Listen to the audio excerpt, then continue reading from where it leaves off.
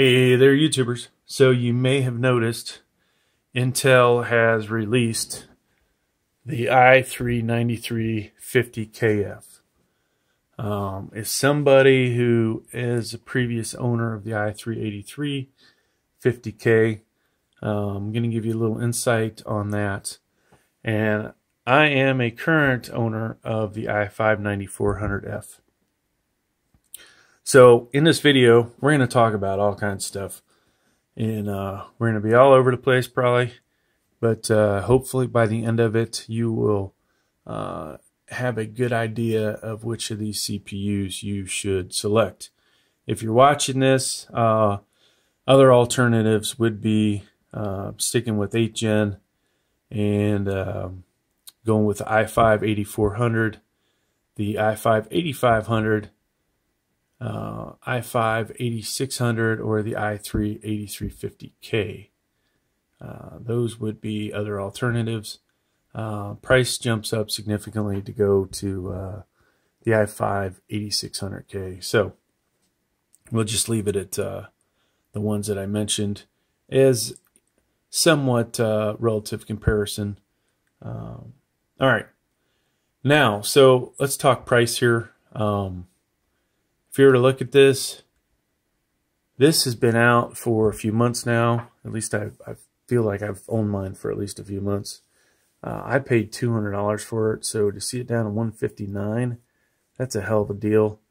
I actually have a couple of i5 8400s, um, and if I could go on eBay and sell those for 180 bucks, um, and minus my fees, I would buy a couple more of those to replace them. So, uh, that said, here is the i3-9350KF, and it is uh, right off the bat $212, which is uh, not the best deal in the world for that processor.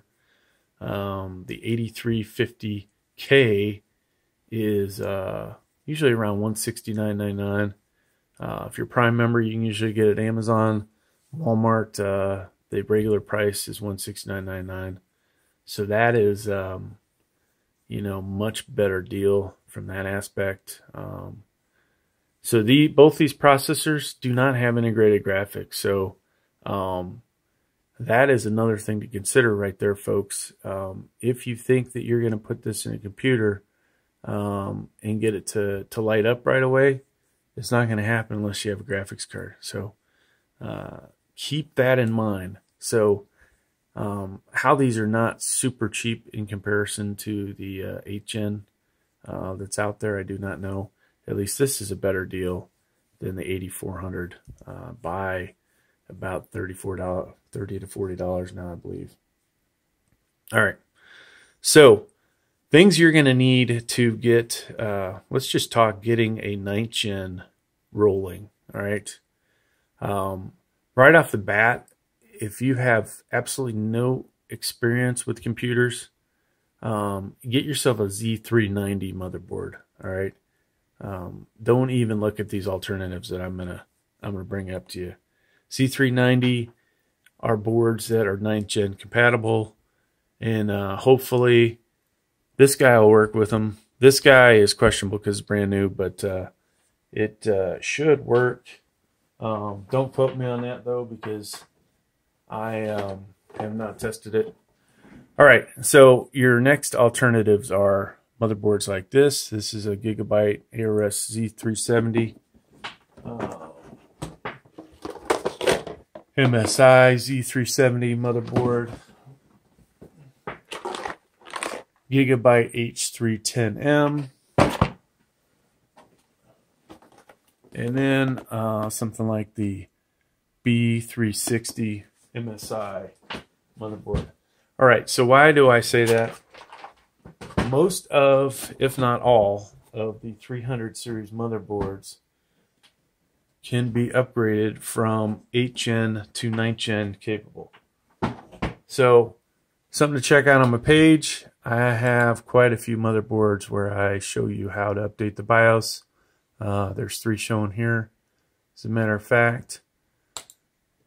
So that's something you're going to have to do because um, when you get a 9th gen chip and you put it in one of those 300 series motherboards, if it's not a Z390, you are not going to be happy because you're not going to have anything uh, pop up on the screen for you.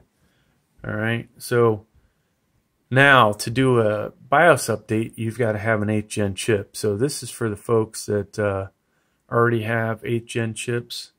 Um, before you move on to the 9th gen, make sure you go and update the BIOS. It's pretty simple to do. However, it can cause uh, catastrophic issues for you if you don't know what you're doing. Um, and you definitely do not want to restart your computer in the middle of a BIOS update. So, those are uh, things to look out for. Now, between these twos, there are added costs. Okay, so the motherboards will say are pretty much uh, about the same. However, uh, if you want to maximize your performance on this CPU, you need something that says either Z370 or Z390.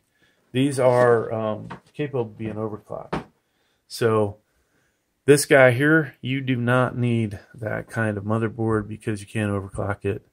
Um, so that is uh, that's something to watch out for. That'll save you a little money. So based on motherboards, you can get away with a cheaper motherboard here. Maximize your performance here. It's going to cost you more money. All right. Other things to factor in. CPU coolers. Okay. Um, this guy comes with a stock cheap uh, Intel fan, so no additional cost for you. This guy is not going to come with a uh, CPU fan, most likely. At least the 8350K didn't. And uh, I'm going to order one of these so we can uh, test it out here. But uh, that said, so here's some other CPU coolers that we have that are that are cheap. Um, and then this guy and then we've uh, I may have flashed that one twice. Cooler Master, which was actually a decent quality one from the results I have. Now, this is the only one. This is the only one that I have that I feel confident overclocking for uh, long periods of time. So um, this was pretty expensive. So right off the bat, your uh, additional costs that this is going to be could cost you at least another $160. So that said, add 160 to this, you could get an i7 8700 that will outperform the processor on the left. Um, so that does not make the i3 a very good uh, price if you ask me. All right, so let's talk some other things. Um, the other reason we brought up the CPU coolers, besides the overclocking aspect, this guy is 65 watts TDP. That's 91 watts. Um, you're going to need more cooling for that because it's it's hotter. Um, something else to figure out. Plus, you're going to use more electricity. Now, other things to watch out for. You know, some of these idiots out there that are reviewing this stuff that you know uh, don't really know what the hell they're talking about. Um, be careful about the articles you read. Some of these people, like uh, CPU World, are saying this processor has integrated graphics. If it does, it shut off, and you're not ever going to be able to use it. So uh, keep that into account.